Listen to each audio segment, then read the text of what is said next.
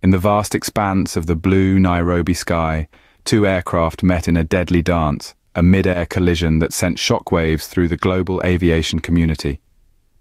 One was a Cessna aircraft from the 99's flying school, carrying a trainee pilot and an instructor. The other was a Dash 8 from SafariLink Aviation Limited, filled with 39 passengers and a five-member crew, headed for the sunny shores of Diani. On that fateful morning at 9.45 local time, flight number 053 had just begun its journey when the unexpected happened. A loud bang echoed through the aircraft, a sound that no passenger or crew member would ever want to hear. The crew, trained for such emergencies, quickly made the decision to return to Nairobi Wilson Airport. They landed safely, ensuring the well-being of every person on board. Meanwhile, the Cessna aircraft was not as fortunate. After the collision, it plummeted into Nairobi National Park, resulting in the tragic loss of two lives, the trainee pilot and the instructor. As the news of the collision spread, SafariLink Aviation Limited and the Kenya Civil Aviation Authority swung into action. SafariLink assured the public of their commitment to safety and promised further updates as the investigation progressed. The Kenya Civil Aviation Authority echoed this sentiment, confirming the incident and the commencement of a thorough investigation. The investigation involved several agencies, led by the Air Accident Investigation Department and the National Police Service.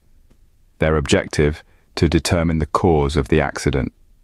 The Kenya Civil Aviation Authority emphasized that the safety of the public, property and operations was their primary concern. This incident, while tragic, serves as a stark reminder of the importance of safety in aviation. It underscores the need for vigilance, for rigorous training, and for continuous improvements in technology and protocols to prevent such incidents. As the world waits for the results of the investigation, one thing is certain. Every effort must be made to ensure that such a tragedy does not repeat itself. The skies must remain a safe place for all who venture into them, whether they are seasoned pilots, trainees, crew members, or passengers seeking new horizons. The story of the mid-air collision in Nairobi is a solemn reminder of the risks that come with conquering the skies.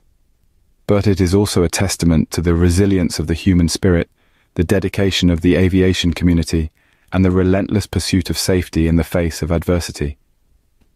The lessons we learn from this incident will shape the future of aviation, making every flight safer, every journey more secure.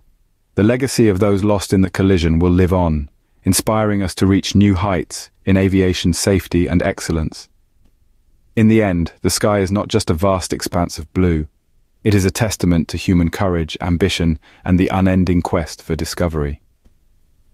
And every flight, every journey, is a part of that grand narrative, a story of human endeavor, written in the language of the skies.